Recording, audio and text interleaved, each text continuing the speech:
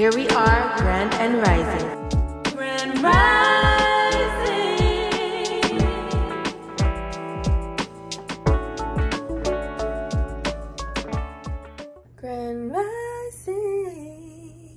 Beautiful souls in this work, I don't know we are not of this world. Cool baby there, you don't know the already. Here we are, grand and rising on this beautiful and blessed Monday rising. Okay, I'm talking a little bit low because it is very early in the rising and um, I don't want to be too loud at this time. However, this is going to be a very short and simple word um, that God has been speaking to me heavily and as he continues to speak to me about this thing, he makes it more clear on another level every single time. So, beloved, honestly, I am just sent here to encourage you that when there's something, thank you, Holy Spirit, when there's a calling on your life, there's going to be a lot of things, okay? And when I say things, it's not just carnal, guys. It's spiritual first. Like, there's going to be a lot of spiritual warfare, a lot of spiritual attacks. And you'll feel it, you'll see it, you'll know it, right? You're going to be getting attacked in different areas of your life in the spirit um, in the physical, um, emotionally, right? In the carnal, right? Like you're going to be getting attacked and it's primarily to keep you away from your calling. It's primarily to get you, you know, weary and and and tired and drained and frustrated and annoyed and aggravated and agitated and all these things. It comes to, you know, give you those spirits so that you're like, man, to heck with this. I'm not to do this thing. Like, this is not doing anything for me. I'm not feeling it. I'm not, you know what I mean? And God has been showing me that that's when you persevere the most. That's where you remember what the scripture tells us, that do not get weary in well-doing. Do not get weary in well doing. That thing that you are called to, you were destined, you were created, wired, and designed to do that thing. So expect the warfare. Expect the, the camp of the enemy, right? The, the opposing side of the kingdom of God. Expect, you know, the enemy's camp to be coming at you with, with obstacles and with trying to get you oppressed and stuff like that. Like ex expect it. You understand? Expect it. But what god is showing me is that once we know and have that knowledge and understanding that this thing that i'm called to do is so powerful and it's so impactful it's so life changing so much so that the enemy is doing everything in him power, everything that he can do to stop me.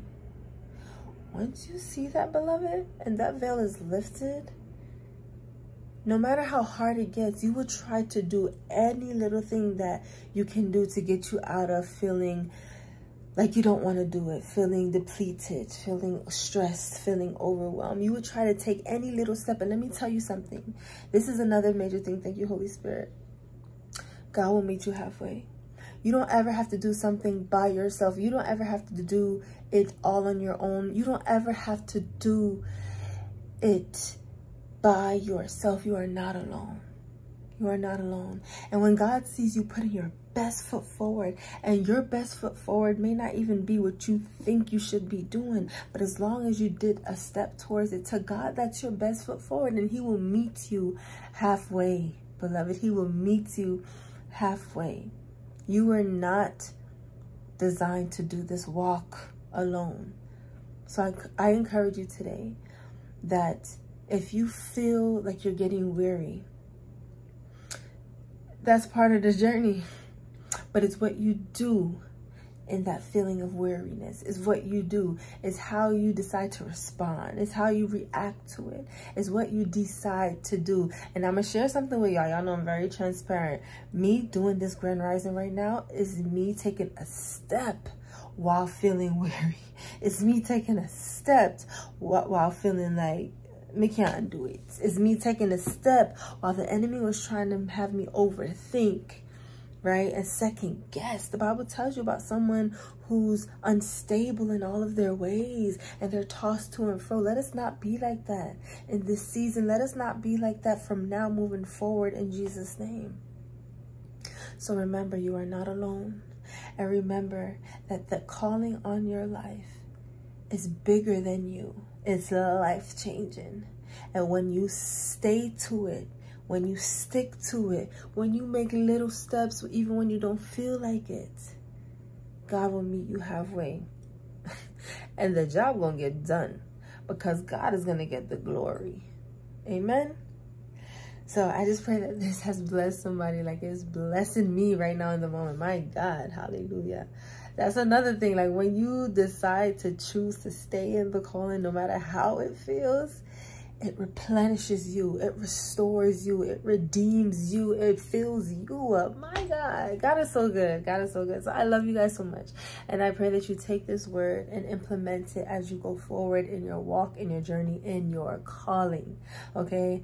I love y'all. Bless up. Make sure you go to the website www.cb17visions what is at the end.com I know I, I, look like who did it and why, but listen, y'all gonna get this word regardless, whether I'm looking good, whether I'm looking, whether I'm looking mm, like who did it and why. But listen, y'all gonna get it because it's bigger. It's bigger, bigger. So I love y'all. Bless up. You're done. Have a blessed Monday. Oh, I need my nails done.